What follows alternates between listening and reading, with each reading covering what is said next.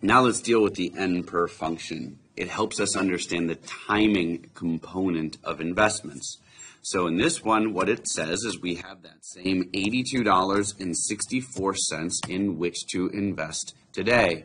We would like to get $100 at some point in the future that we don't know when because we have an interest rate of 10%, but we're uncertain as to how long it will take my investment to grow.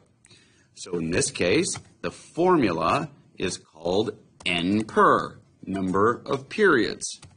And just like before, when we highlight our variables of rate, there's no payment yet for us to deal with.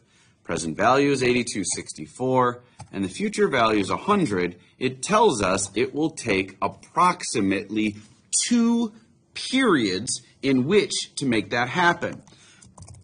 The key thing here is it says two periods.